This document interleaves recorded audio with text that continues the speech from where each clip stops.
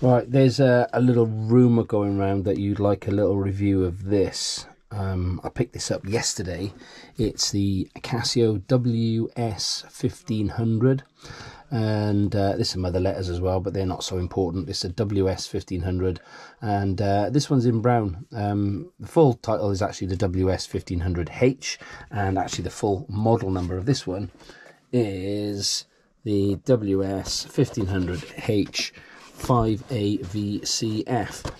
And um, if you're like me, you probably haven't got a clue what half those letters mean, but usually it's depicting the colour of the strap, uh, perhaps the screen, and a few other sort of like bits and pieces, perhaps maybe where it was made, a few other odds and ends. But basically, the important figures here are the 1500H and the WS because this is also a 1500H, but this is an AE 1500, and they're both pretty thick, about 13 mil thick watches.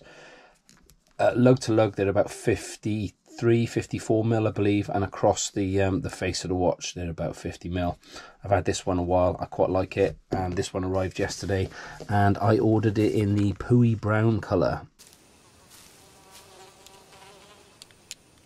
That is one big pile of shit.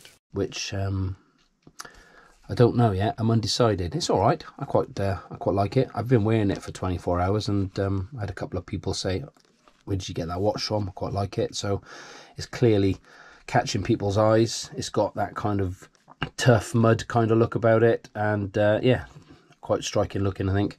So um, the WS might mean it's for water sports. I don't know. Uh, basically, you've got this fish finding thing up the top and a moon phase. Uh, the fish timer, sorry, basically indicates high tide. So when you put in your, um, uh, you don't put in your location.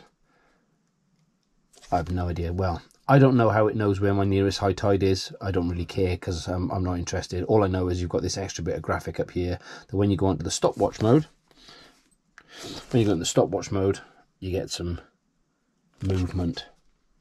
Probably can't see it. I'm not doing a very good job of filming.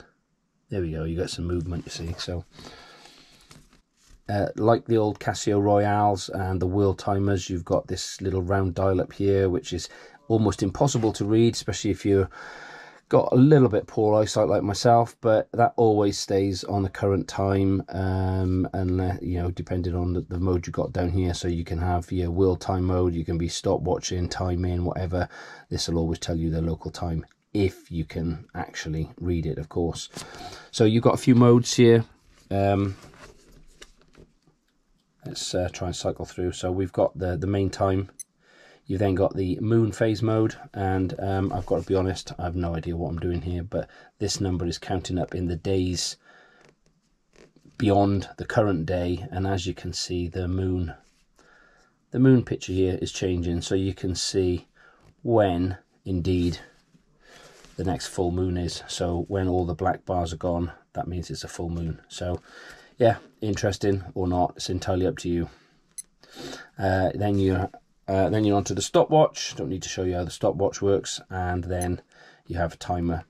Uh, finally, here we have ooh, we have uh, five alarms like you do on the other one. Um, I'm not going to show you how to set those alarms here. If you want to know, let me know.